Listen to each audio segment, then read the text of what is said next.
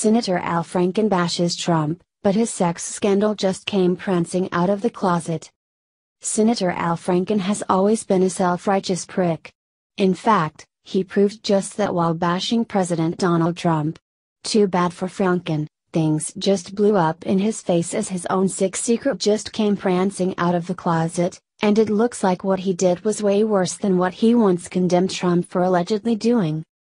Al Franken is well known throughout the political world. While he's lauded as a hero by the left, he's looked at as nothing more than a biased hack by those on the right since his remarks often use information taken out of context to get his point across. Unfortunately for Franken, it seems that he finally got what was coming to him after months of attacking President Trump. In fact, you may remember that during the 2016 campaign, Franken decided to comment on the infamous Hollywood Access tapes, in which Trump was caught during some locker room talk with another man in private.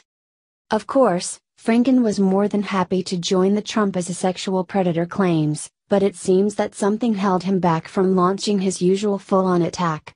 For those unaware, Franken had his own mishap back when he was a writer for Saturday Night Live, where he actually tried to make a skit involving a fictional rape.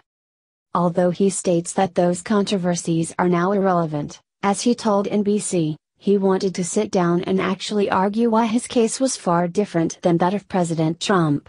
Too bad for him, things just blew up in his face big time as his own sick secret just came out. As it turns out, Franken's rape fantasy wasn't a one time thing. In fact, Breitbart is now reporting that Leigh Tweeden, a journalist who anchors the morning news at Talk Radio 790 KABC in Los Angeles, California, is accusing Senator Al Franken, DMN, of fondling her while asleep and shoving his tongue down her throat without her consent. Even worse yet, there's actually photographic evidence proving that he did it, which has most recently been released to the public. The incident took place back in December of 2006 as Tweeden was on a two-week USO tour to entertain our troops with a then 55-year-old Franken and others. At one point during some downtime, Tweeden dozed off in the company of many others, which apparently prompted good LA rapey Franken to reach over and fondle her breasts. Even worse yet, someone else snapped a pic with Franken all too happy to pose with a creepy smile.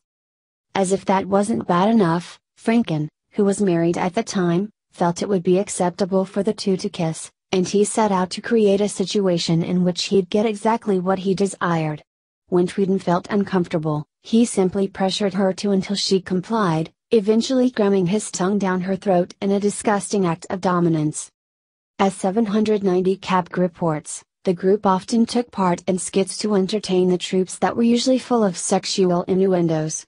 However, Franken took things to a disturbing level by writing a skit where the two would kiss.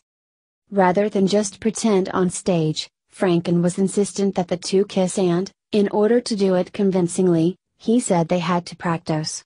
Although Tweeden expressed her discomfort with the idea, Franken reportedly badgered her to the point that she agreed just so he would shut up, but things would only get worse from there.